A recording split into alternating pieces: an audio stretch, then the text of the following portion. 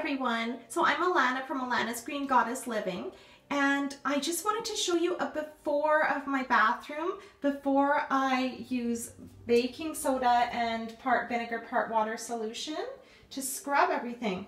So it's just a little bit dull and ruddy looking in there and